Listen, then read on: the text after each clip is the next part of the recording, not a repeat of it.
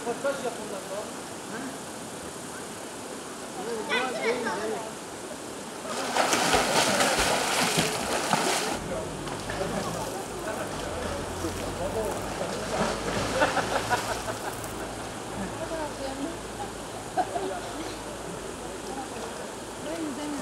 Siirt'ten e, Zarova çayına e, geldik serinlemek için.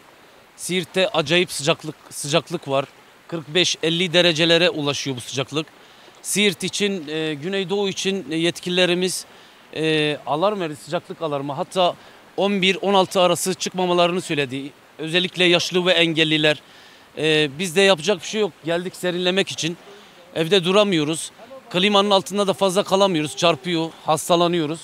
Biz de böyle kendi çapımızda Zorava çayı işte gördüğünüz çok serin. E, suyu buz gibi, kaynak suyu. Dağdan gelen su suda serinlemeye çalışıyoruz.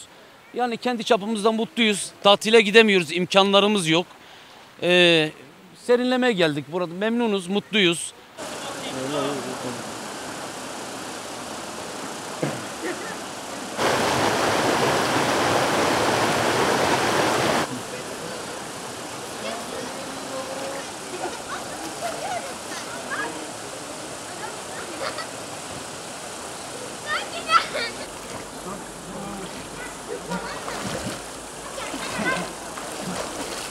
Ee, bu Siirt'in sıcak günlerinde bizim şu anda Siirt'te Zorava çayımız var.